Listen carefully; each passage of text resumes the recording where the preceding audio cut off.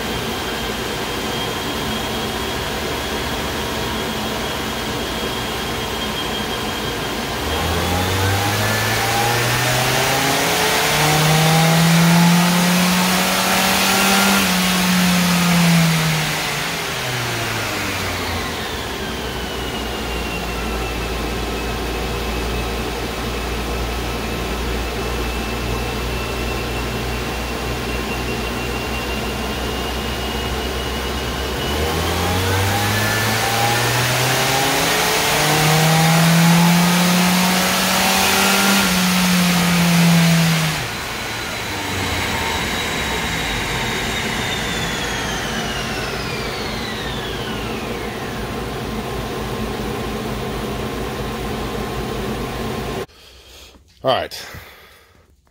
These are our three baseline runs for the day. You can see I finally got one to start a little bit lower. Um, so, you know, 117, 117, 118. Um, that last run it made 0.3 more PSI. Woo! Um, but, you know, statistically, all very similar. Air fuel is the uh, solid line there on the bottom graph. You can just see it goes Richie Rich there up top. Almost the exact opposite of what you want it to. It's about 13 to 1 there at 3,500 and then it just kind of goes from there. Anyway, uh, I'm going to put the first boost controller on there and we're going to shoot for 14 PSI.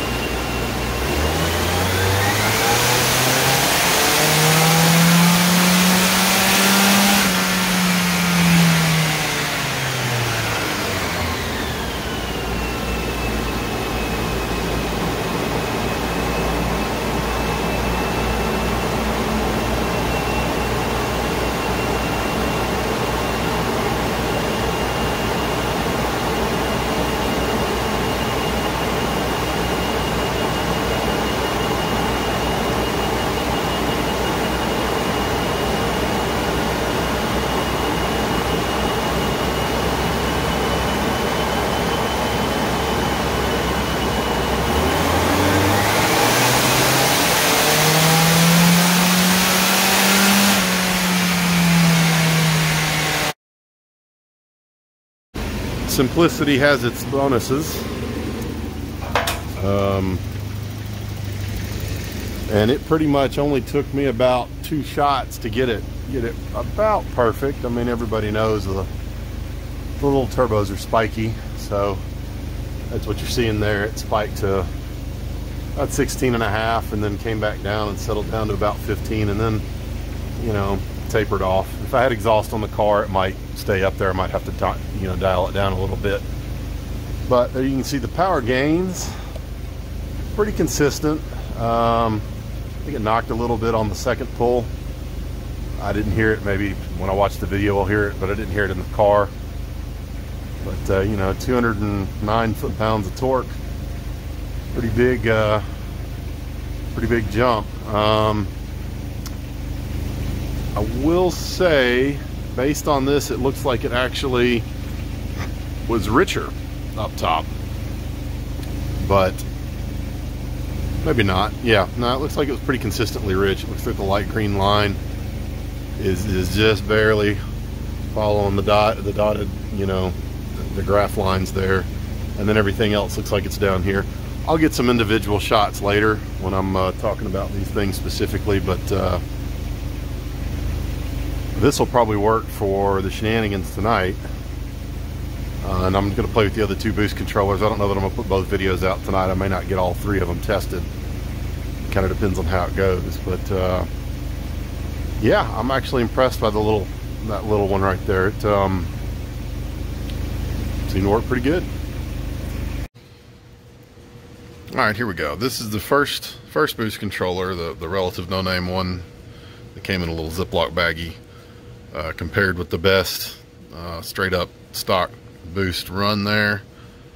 Uh, you can see it picked up 60 foot-pounds, give or take, and pretty decent amount of power. Not not totally surprising. That's kind of what they do. It's usually why everybody's first modification is a boost controller. Um, and then, you know, it's worth mentioning this is not on a tuned ECU. So that's part of what you're seeing up top here on the on the run at stock boost it looks like it just barely dipped below you know 10 to 1 AFRs which is way plenty rich. They're just past about you know pretty close to red line there about 5800 RPMs um, the line below that, that that almost looks like it's you know tracking straight that guy oh there we go get a little better that guy you can tell pretty much bottomed out right there at about five grand um, but was headed bad at about 4800 um, coming across you can see that that midpoint there's about this should be about 12.5 you know things weren't looking terrible. 3500 really at about four grand for both of them. It wasn't wasn't awful although uh, the extra boost kind of delayed the pain a little bit there and then it just kind of went went to shit up top. Um,